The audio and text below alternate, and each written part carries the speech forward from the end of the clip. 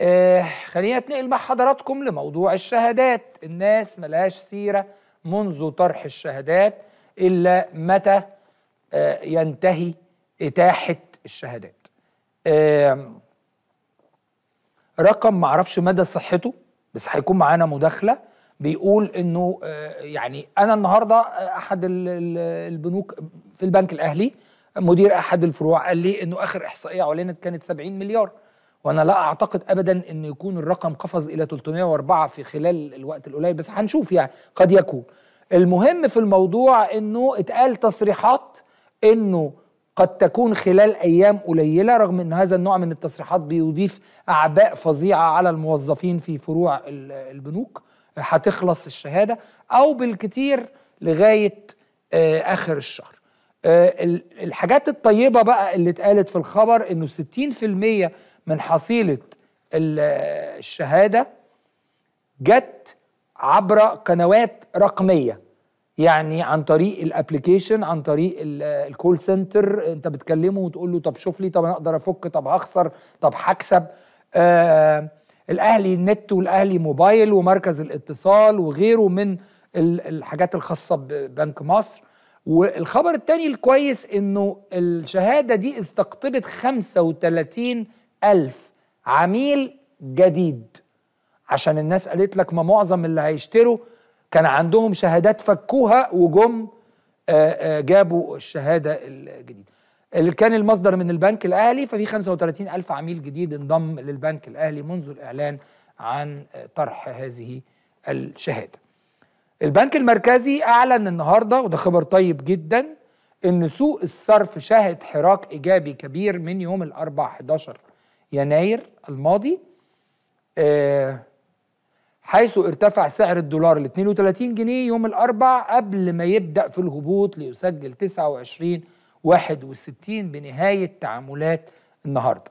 البنك قال إنه تم رصد مجموعة مؤشرات إيجابية منها زيادة كبيرة في حصيلة البنوك من النقد الأجنبي من السوق المحلية من تحويلات المصريين في الخارج من قطاع السياحة كمان عمليات دخول مستثمرين أجانب للسوق المصرية مرة تانية اللي قلت لكم عليها في بداية الحلقة النهارده في المقدمة من الأربع الماضي بمبالغ تخطت في ستة أيام عمل فقط ومن ضمنها طبعا كان في الجمعة والسبت يبقى أقل حوالي أربع أيام عمل تخطت 925 مليون دولار أمريكي. دكتورة مروة الشافعي خبيرة الاقتصاد مساء الخير يا فندم. مساء النور يا فندم على حضرتك وعلى جميع السادة المشاهدين. دكتورة مروة هل فعلا ممكن تكون يعني هل الخبر ده صحيح؟ ممكن تكون حصيلة الشهادة الجديدة وصلت ل 305 مليار جنيه؟ هو أكيد وفقا لما تم الإفصاح عنه من البنك الأهلي وبنك مصر. أيوه يعني المسؤولين عن هذه البيانات. آه طبعا ممكن جدا ممكن يعني. طيب. آه طبعا بسبب لأن هو أيام الأجازات آه، كان ال- الزملاء موجودين وكانوا بيستقبلوا العملاء في الفترة دي. أيوه كان في إضافة 166 كمان- فرع فعلا شغالين الجمعة والحد. اللي كان أجازة علشان آه، 7 يناير عيد الميلاد المجيد.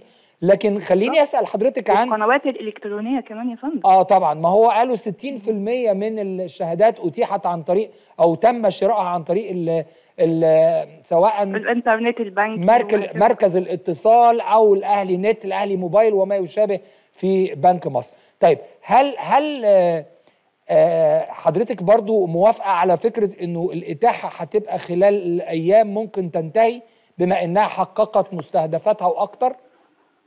هو الهدف من ده إن أنا في الوقت الحالي عندي مشكلة في معدل الفايده الحقيقي لأن أنا تمام. في الوقت الحالي عندي معدل الفايده الاسمي ومعدلات التضخم فأنا بالنسبة لي بسبب وجود الفايدة 25% فهو عمل مثلا بالسالب في الوقت الحالي آه. فطبعا ده بيعمل تشوه طبعا عندنا في السياسة. مم. ولكن هو طبعا بالنسبة له الهدف الأساسي هو سحب السيولة من أيدي الناس. كل ده بالنسبة له برضه علشان خاطر يحارب التضخم. إضافة طبعا إحنا عندنا مشكلة أساسية في مدخلات الإنتاج بتاعتنا كمان إن هي أسعارها مرتفعة جدا. فهو بيحاول يسحب السيولة لأن النهارده الهدف من البنك المركزي أو الهدف من السياسة النقدية هي استقرار الأسعار. فما ينفعش يكون في سيولة متاحة في أيدي الناس وبالتالي هو بيحاول إن هو يحجم الطلب مسألة يعني الحالي. تقليل ال ال ال الطلب يعني بالظبط هي أحد الآليات التي يستخدمها البنك المركزي للتحكم في الأسعار. طب قولي لي يا دكتور دلوقتي ال- البيان برضو بتاع البنك المركزي آه بيقول إنه من الأربع الماضي يعني أربع أيام عمل فقط أو يمكن البيان لو صدر النهارده الصبح يبقى ثلاث أيام بيقول إن في تغير وزيادة ملحوظة في وجود النقد الأجنبي في البنوك. من صحيح. آه، من التحويلات المصريين في الخارج وارد علشان يبعت دولار ويشتري الشهادات اللي فايدتها عالية دي. آه، من السوق المحلي ومش فاهم مقصود بيها إيه السوق المحلي؟ اللي هي المصريين اللي كان معاهم دولارات ولا ولا إيه بالظبط؟ هو الفكرة إن إحنا عندنا مصر في قطاع غير رسمي كبير جدا قاعدة عريضة حضرتك يعني تمام. يعتبر الفلوس بتاعتها تحت البلاطة. تمام. فهو في الوقت الحالي عمل محفزات عمل سعر بالنسبة لهم ده سعر مغري جدا إن أي حد يشتري بيه سواء إذا كانت الشهادات 22.5% أو ال 25% إضافة كمان إن حضرتك عندك ال- ال- الشهادات الدولارية أعتقد عليها 5 أو 5 خمسة وربع وصلنا خمسة وربع. طبعا. بالظبط فدي مم. كلها أسعار يعني ما كانش بتحصل قبل كده طبعا هو في مشكلة إن في تكلفة على الشهادات اللي هي مدتها سنة واحدة لأن في الحالة دي تكلفتها عالية جدا على البنوك طبعا اضافه كمان دي ما بيندفعش عليها يعني سوري بيندفع عليها احتياطي إلزامي كمان. حضرتك عارف إن هو ارتفع من 14 ل 18% فهي مكلفة جدا في لا. وكمان ارتفاع أسعار الإقراض وصلت ل 24 ونص فطبعا يعني لما أنا آجي آخد قرض عشان أعمل مشروع وألاقيه بفايده عالية كده طب ما أنا أحط فلوسي كاش كده واخد عليها فايدة 25% أنا هعمل ليه مشروعات؟ فده خطر على الاقتصاد. هو خطر فعلا بس خلي بال حضرتك حاجة هو في الوقت الحالي هي لمدة سنة. فأي حد هيبقى قلقان طب وبعد السنة أنا هعمل إيه فدي أيوة. برضه مشكلة أيوة. بلس كمان إن في عندك مبادرة ال 11% كمان لسه خرجت تقريبا يعني الفترة دي كمان أيوه فدي كنوع برضو إن هو يشجع الناس إنها تبدأ تشتغل وتبدا تصنع خاصة كمان في ظل ورود تدفقات نقدية دولارية في الفترة الحالية يعني يمكن لسه أيوه هو فعلا 925 البيان بيقول إن. حوالي 925 مليون دولار يعني فاضل لنا 75 ونتكلم في مليار دولار. دخلوا في وقت قليل جدا بالظبط وسياسة سعر صرف مرن. وتحويلات مصريين بالخارج وكذلك قطاع السياحة. وإحنا أصلا مشكلتنا في الفترة اللي فاتت كانت مشكلة الشح الدولاري. انخفاض الاحتياطي الدولاري بتاعنا في مصر. آه، وعندنا في مشاكل في آه، أسعار الغذاء وأسعار الطاقة وفاتورة الاستيراد بتاعتنا. فطول ما كان عندنا مشكلة في الشح أو مشكلة في في الدولار عندنا في مصر دي كانت بتضغط جدا على الحكومة وتضغط جدا على ال- الشعب المصري كله. فورود التدفقات النقدية دي يعني أفتكر إن هي بالنسبة لنا هتبقى بمثابة خروج من عنق الزجاجة في الفترة القادمة إذا ما تم إدارة الأزمة بمنتهى الحكمة. ويعني إحنا شايفين النهارده مجموعة من القرارات في منتهى يعني فعلا يعني في راحة تامة بالنسبة لنا كلنا خاصه كمان إعلان البنك المركزي كمان عن فكرة المشتقات المالية. فده معناه إن إحنا هنكمل بسعر صرف مرن إن شاء الله يعني أتمنى ده يتم فعلا.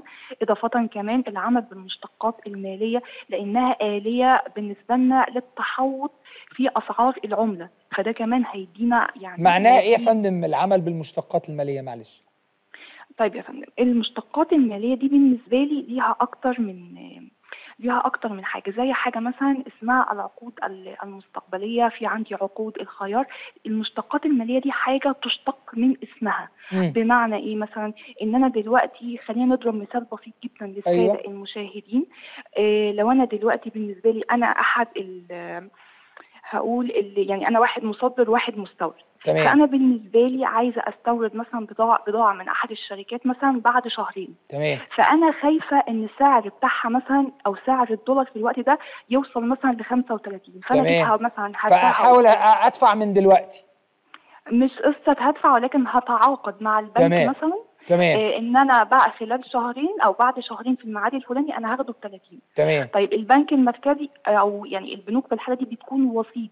مش هي يعني مش هي الشخص اللي هو بيتم التعامل معاه في الحالة دي أيوه. لكن هي مش لاعب أساسي هي بس وسيط بيكون في شخص تاني في الناحية التانية بيقول مثلا إن هو هيبتدي بقى واحد هو اللي بياخد والتاني هو اللي بيدفع وهكذا. تمام. طيب هل بيتم المعاملة؟ لا مش بتتم. بتتم إمتى بقى؟ سواء مين اللي كسب ومين اللي خسر من يتحمل المكسب ومن يتحمل الخسارة؟ على حسب. وده في ظل تذبذب اسعار الصرف في الوقت الحالي. واحد يتوقع زيادة واحد يتوقع نقص. مين بقى اللي بيكون موجود وسيط في التعامل ده؟ البنك هو المركزي ال- بالظبط كده. مم. طب أنا بشكر فدي حضرتك جدا يا بالنسبة لي حاجة كويسة جدا وفي مؤشر كمان يا فندم. أخير برضو أخد رأي سعادتك فيه مؤشر طيب جدا إنه البنك قال في بيانه النهارده إنه آه رصد عمليات دخول مستثمرين أجانب مرة أخرى للسوق المصرية من الأربع. الماضي. فواضح إن في ثقة لدى المستثمر الأجنبي كمان في السوق المصرية دلوقتي بعد القرارات الأخيرة. بالظبط خاصة كمان في ظل موافقة صندوق النقد الدولي على إقراض مصر وتدفقات استثمارية في الفترة القادمة سواء من الأشقاء العرب أو المستثمرين في عندنا أكتر من إجراء في الفترة القادمة معناه إن شاء الله هيتم انفراجة الأزمة الحالية بإذن الله. وإن شاء الله برضو نتابع جدواه مع حضرتك في حينه. دكتورة مروة الشافعي خبيرة الاقتصاد شكرا جزيلا.